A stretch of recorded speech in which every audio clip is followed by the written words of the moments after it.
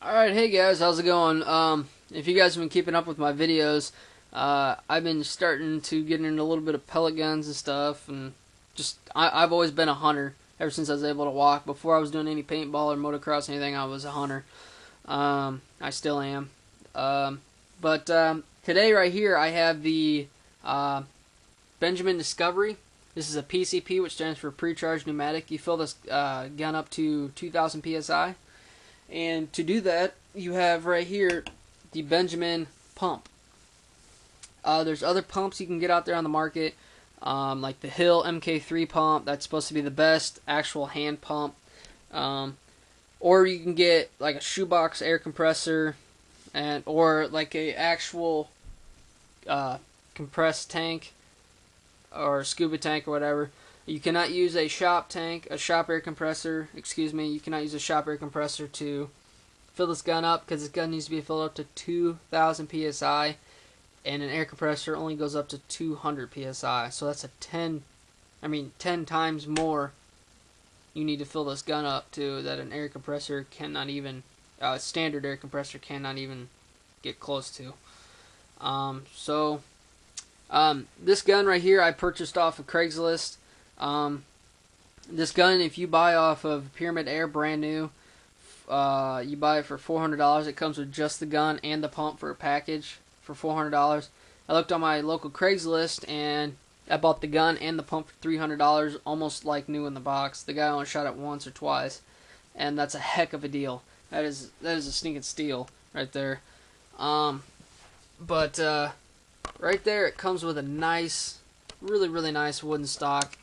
Um, it's got a nice kind of raised up cheek, cheek piece and uh, nice foregrip area.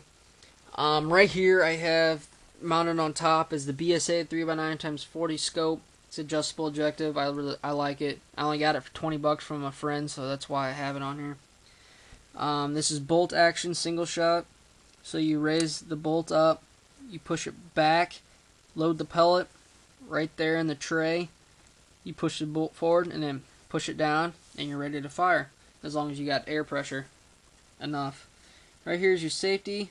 Um, right now it is on safe. Now it is off. Back on safe. Trigger. Trigger's pretty good.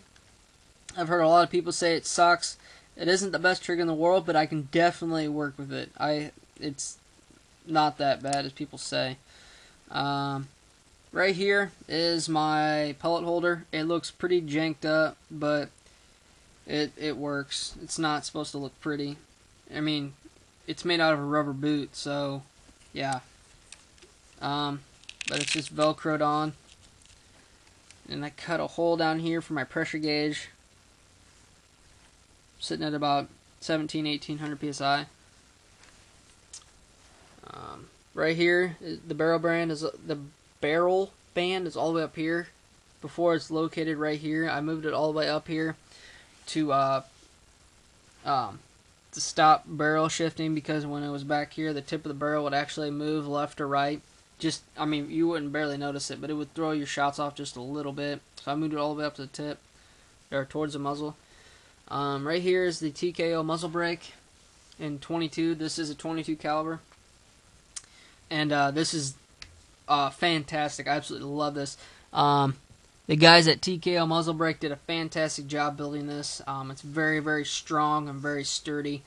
Um, so it definitely quiets the gun about 60 to 70 percent. I would say it's very, very, very quiet. It definitely, if you're a big hunter like me, it's definitely worth buying. It's only 45 bucks.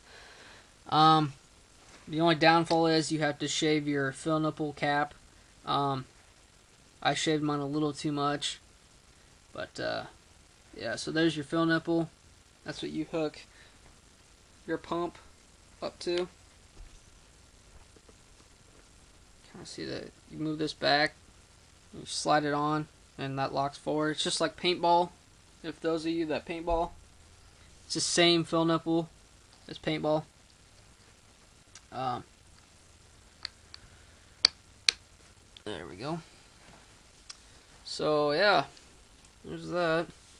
Um, this is a fantastic gun. Um, I know the big for those of you who um, are into pellet guns, I'm sure you have this conversation with your friends all the time. You know, your friends say, "Oh, why, why are you wasting your money on a pellet gun and stuff?" And you know, why are you doing this and stuff? It's just a kid's toy, or you know, this is not a kid's toy, ladies and gentlemen. Let me tell you this: I'm hitting pop cans out at 80 yards, no problem with this thing. This thing can shoot almost more accurately than my actual 22 lever or 22 long rifle uh, powder burner.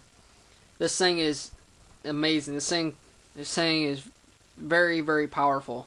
I think it comes in around 20, an average around 25 foot pounds of energy, which is quite a bit.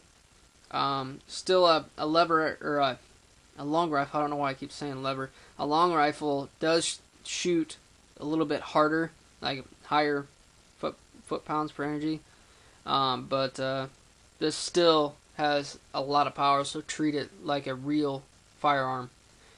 Um, but this is, like I said, I'm able to hit pop cans no problem at 80 yards. Um, right here is my uh, my tackle box or toolbox I use. I got my range card in there. You can see right there at 80 yards I have a 4.25 mil dot holdover, which is pretty pretty high. It's pretty cool too. Um, I use the uh, Chairgun Pro software. I have all my pellet pouch and all kinds of stuff in there. I have my pellets. Uh, top row right here is 177, and second row right there is a 22 caliber. I have cleaning accessories, and the last two are just random stuff I have. Um, definitely, if you're a big hunter like me, one of the uh, one thing you really need to get is a bipod. Uh, I went to my local Bass Pro shops and I was able to pick up this nice bipod. It's made by BOG Gear. Um, it's got uh, 360 degrees, uh, rubberized swivel head, and uh, Nerf handles for comfortability, a lock-in leg plastic piece for travel, and a three-stage adjustable leg adjustment. Uh, rubberized uh, feet so you can get good grip. Uh, really, really nice bipod. Definitely worth buying. Um, if you're a hunter, you want those long, steady shots. But uh, so uh, about some pros and cons of this gun. After I've kind of showed you all the accessories and stuff, the pros this gun is definitely really accurate. I've owned quite a few Springers, um, cheap ones, not nothing worth competing with this gun. So I guess I can't really say spring guns can't compete with this. If you spend good money on some spring guns, you can. Um, but uh, it's an excellent gun. It's a uh, some pros. It's got a gorgeous finish, really really good quality. Um, shoots really good, smooth. It's accurate. Um, it's just it, it, no recoil. It's just it's a very very nice gun and it's pretty efficient. Uh, I think I get about 20 maybe 25 good shots off between 2,000 and 1,000, excuse me. Um, 2,000 and 1,000 psi. I always refill it at 1,000. Um, so, some of the cons would be the trigger. I mean, although it is still manageable, it's it could use some work. I wouldn't say it sucks, but it it could use some work. Um, see here, boy, that's kind of kind of hard. Um, hmm. I can't think of any other cons really, except for that it is a little bit loud without the TKO muzzle brake. It is loud, but that was easily solved by the TKO muzzle brake. Um, I would think a, a con would be maybe a magazine. I really wish, like the Marauder, they give you a 20 round or 25 round magazine. I really wish this came with a magazine. Um, single shot tray is alright, but I mean, if you're if you can have a way to hold more than one shot, that, that would just be awesome. But uh, also another barrel band would have been nice. But other than that, the pros definitely outweigh the cons. I absolutely love this gun. Um, I use it for starlings.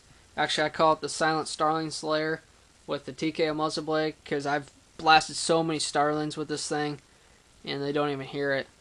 and uh, at 40 yards, no problem. Just next shot after next shot.